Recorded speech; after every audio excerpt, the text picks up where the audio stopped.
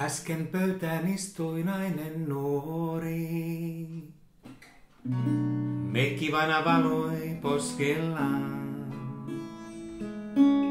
Savukkeesta sormiin tullut jälki. Se jälki oli tuskan punainen. Hän katsoi kauas minun taakse. Tyhjään seinään, tyhjään elämään.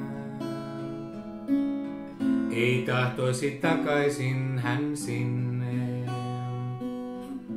josta aamu varhain hiipi pimeään. Kolme tyhjää tuolia pöytä kiiltävää.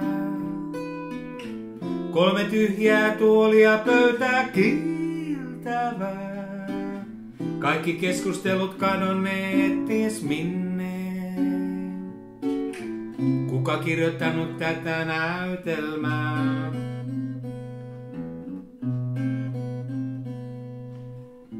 Saapui pöytään juuri toinen nainen. Hän katsoi suoraan silmiin, häkellöin. Ei ole mitään pyhää, katse kertoi. Juuri se oli hänen tuska ja häpeää. Siinä olimme me kolmisin niin hiljaa. Jokainen täynnä omaa tarinaa. Sanomatta sanoin silti niin paljon.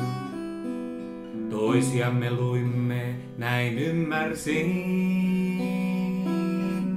Kolme tyhjää tuolia pöytä kiiltävää.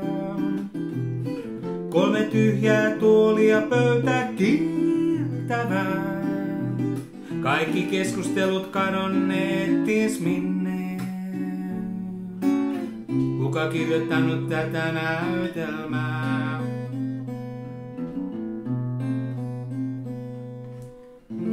Voi kumpa voisi sydämensä avata. Oman itseen syvälle vain katsoa. Levätä ja rauhoittua, olla hiljaa. Jaka nämä niin kallisarvoiset hetket. Ja se pöytä on yhä siinä paikallaan. Naiset ovat menneet iltaan koleaan. Tarinoita taasen on jo tulossa. Seurue saapuu, kuuluu puheen sorinaan. Kolme tyhjää tuolia pöytä kiiltävää. Kolme tyhjää tuolia pöytä kiiltävää. Kaikki keskustelut kadonneet ties minne. Kuka kirjoittanut tätä näytelmää?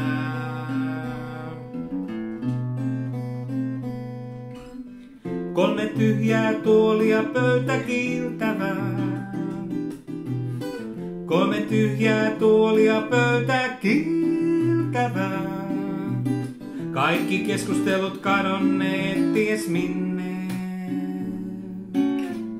Kuka kirjoittanut tätä näytelmää?